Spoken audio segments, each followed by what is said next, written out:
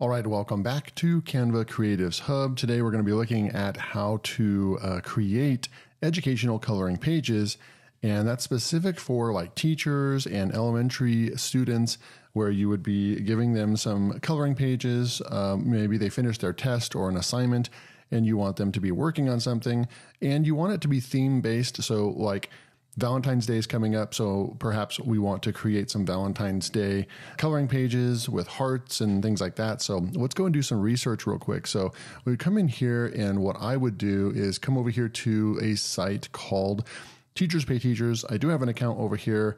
I do make money on this, a couple hundred bucks a month from work I did years ago, and I still make money like clockwork. So, this is the most passive income that you can make once you actually start creating these and getting some good quality designs up on the page. But what would you do is oh, come over here, coloring pages, Valentine's. And this was actually a keyword that was inside of here. So now we're looking at coloring pages, Valentine's, and we can come down and I don't think AI is going to do very well at creating these sight words, mystery pictures, and so forth. Maybe at some point we'll be able to create these these ones right over here as well. but when we come down here and just look at simple coloring pages that can still be educational oh, right over here, we can look at this design right over here. We can click on that, open it up. This thing has almost 2,000 ratings, 4.9 stars. This is one of the top sellers is regarding coloring pages on TPT. But we can go and we can look at this and just get an an idea of what this looks like. All right. So there's simple uh, designs, right? Just really simple designs. You can create these in Canva. And I'm going to go ahead and we're going to go and look and see if we can get some like heart designs right over here or something like that. But just to get some inspiration, don't copy, but just get to get some inspiration on what's selling and so we can come over here and let's just say if we can create maybe six or seven hearts and go and do that. What we would do is we would come into Canva and what I would do is come over here to create design and then I would go into the flyer. Eight, eight and a half by 11 is going to work the best for teachers because they generally have regular sized paper and that is what you're going to want to create your designs on. So they can just quickly print them, right? But one of the other tips that I have is that when we go in here and we want to go into, let's say, apps, you want to go into apps and then you want to go into your apps and then use this magic right here, magic media, because then look, you get the uh, aspect ratio option. You only get the aspect ratio option when you go in the app itself like that. If you just go to elements and then go down to generate your own, a lot of times this is missing, uh, believe it or not. Right now it's showing, but a lot of times the aspect ratio is missing. I can show you that and prove to you that it's missing after you create a design, it's going to not give you an option to change that. So you'd have to go back over to the app section in order to get to that, okay? But right now we're in this fresh. Let me show you some of the designs I've been messing around with and creating right over here. Some really nice designs. We're going to go and see if we can get some of these. And we got to use multiple tools in order to make this happen. We might need to use the Canva erase function, the remove background function, and so forth. But let's go and see what we can do over here.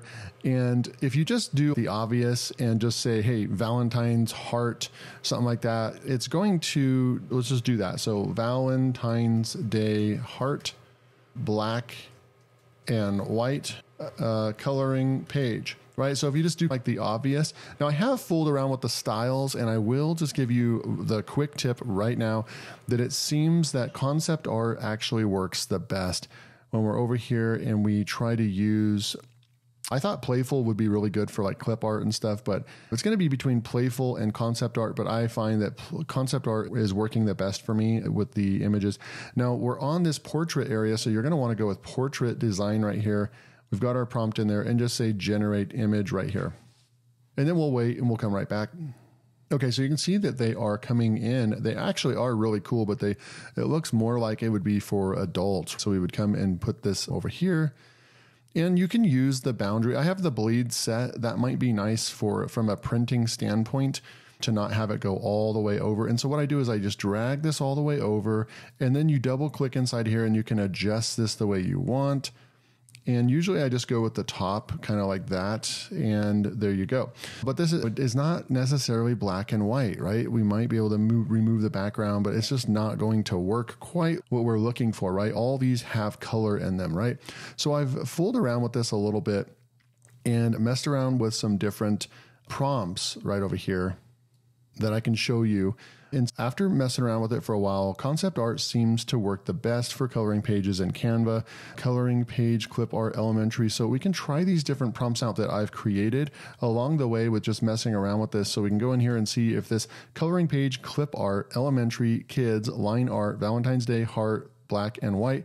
This one did pretty well. We'll go with concept art and we'll say generate again.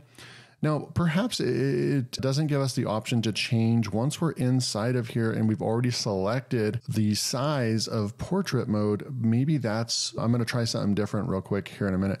But these ones look pretty good, right? So we'll just go and make a new page and you'd be able to go in here and these are pretty good. They're not a hundred percent uh, black and white, right? There's a little bit of a, a tinting in the background, but you could definitely um, argue this is a great coloring page right here, a little cute girl right here, and you would be able to color this and so forth. So that's pretty good. And then we have right over here, I said a heart. So then we have some different, we have a heart on each page maybe this one's pretty cool too.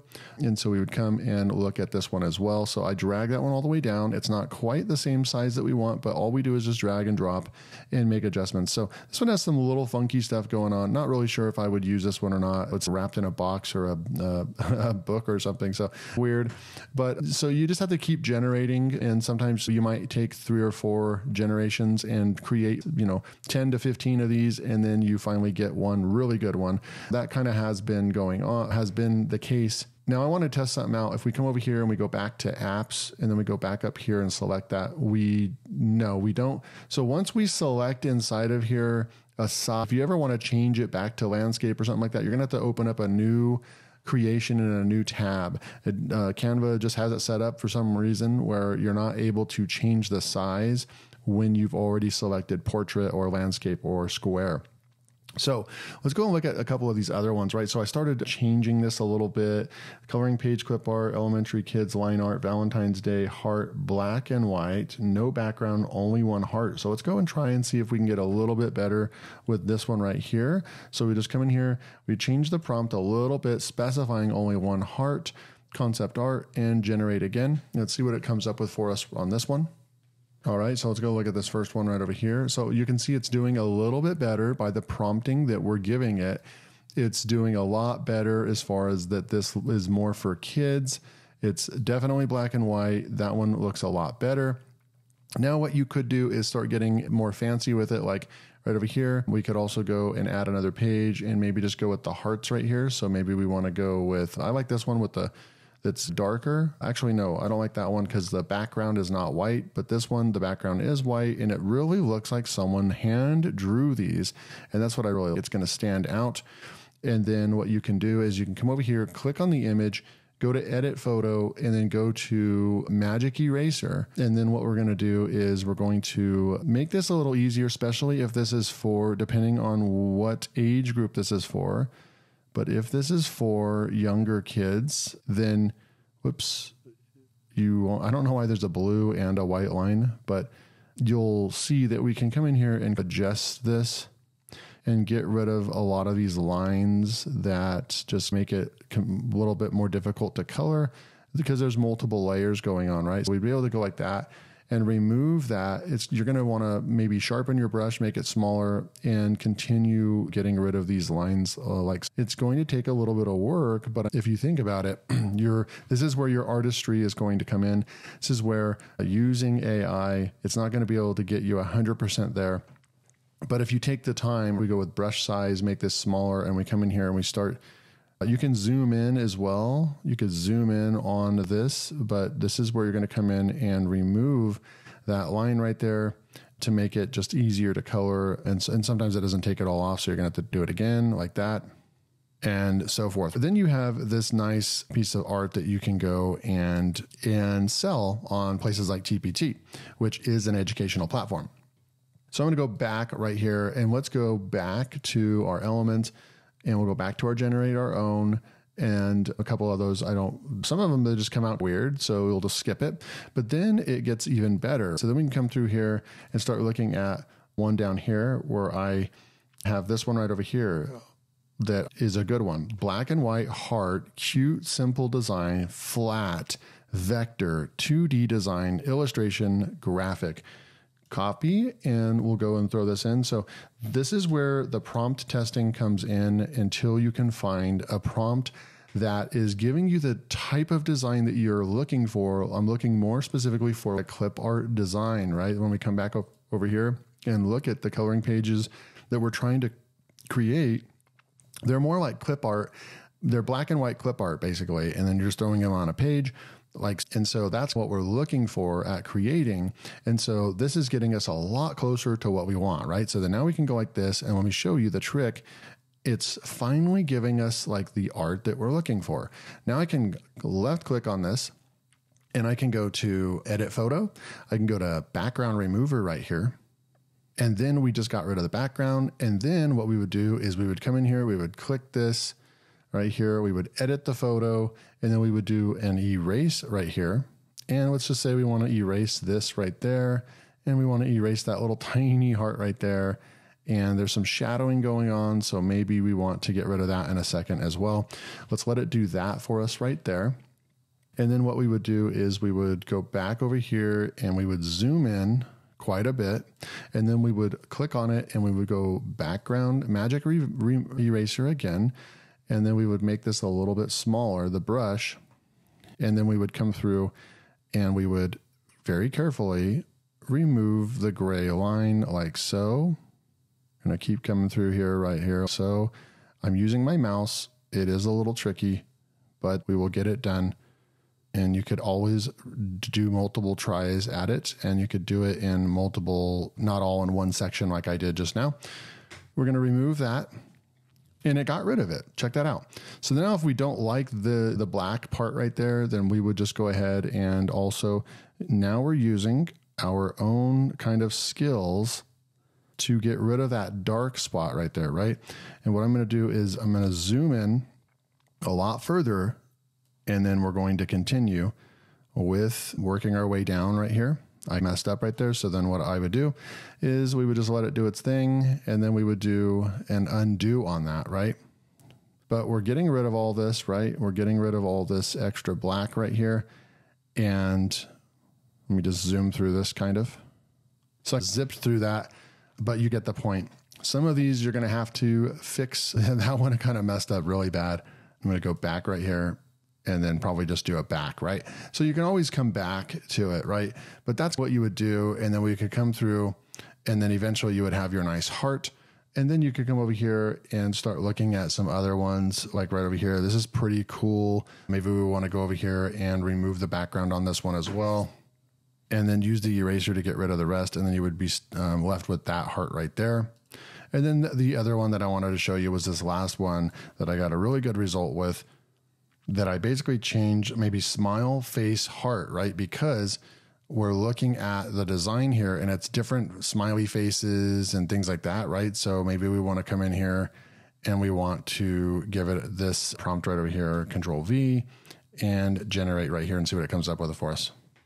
So there's one, there's a really good one right there. So check that out. We can grab that. We can go to edit photo. We finally got a really good one. We can go and remove the background and now we have this really nice one that we can go right here. And so this is an AI generated one, right? So we could come over here, we could maybe move this around, make it big like that. And then we have so i would say we got one really good one right there. And then you just keep using this and you can create these really cool pieces of art. You can and right here if you want to uh, say sad face you would just change smile to sad face heart something like that right? But then check it out. The magic behind this is using a combination of graphics that are always already available and ai graphics. Now we can come over here to elements and we could just say heart let's just say clip art heart something like that and go to graphics and then we could go in here and start finding some different pieces of clip art that we can go in here and change the color. And we might not be able to use this one because it's only one color right there. If you make, if that makes sense. If we turn it to white, you won't be able to see it, but we'll be able to come in here and find some of these.